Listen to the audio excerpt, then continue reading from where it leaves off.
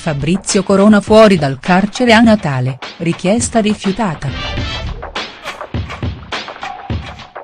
Fabrizio Corona passerà le feste in carcere, all'ex re dei paparazzi oggi è stata negata la possibilità di tornare a casa a Natale. Quello di oggi per Fabrizio Corona non è stato un gran giorno. Dopo aver chiesto al tribunale di poter essere rilasciato prima di Natale, riuscendo così a passare le feste a casa, quest'ultimo ha dovuto fare i conti con una dura realtà. La sua richiesta è stata respinta, lasciando l'amaro in bocca a molti, lui stesso compreso. Diversi volti noti dello spettacolo che stanno esprimendo la propria solidarietà a lui in queste ore tra cui l'amico Gabriele Parpiglia, presente al processo. Questo però non è servito a calmare gli animi di Fabrizio Corona in aula che, stando a quando riportato dalla Repubblica, ha poi avuto un diverbio acceso contro l'accusa.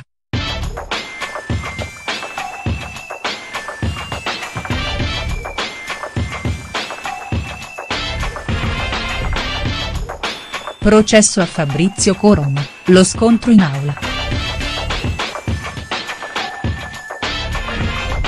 Mi lasci uscire di galera, è Natale. Avrebbe chiesto visibilmente agitato Fabrizio al PM, senza però avere un riscontro positivo da parte di quest'ultimo. La discussione tra lui e l'accusa si è poi protratta, fino a raggiungere toni sempre più accesi tante le persone vicine a Corona che speravano nella scarcerazione, compresa la sua fidanzata Silvia Probedi, che adesso però sarà costretta a metabolizzare quest'altra decisione. I piani della cantante, fino a pochi giorni fa, erano chiari, se il suo compagno non fosse uscito prima di Natale lei sarebbe stata pronta a passare questi giorni di festa accanto a lui in carcere, negli orari e nei giorni prestabiliti. Silvia Probedi vicina a Fabrizio Corona, accanto a lui nella buona e nella cattiva sorte. A Nuovo TV Silvia Probedi aveva raccontato di essere pronta a passare l'ultimo dell'anno in carcere insieme a Fabrizio se quest'ultimo non fosse tornato a casa prima delle feste.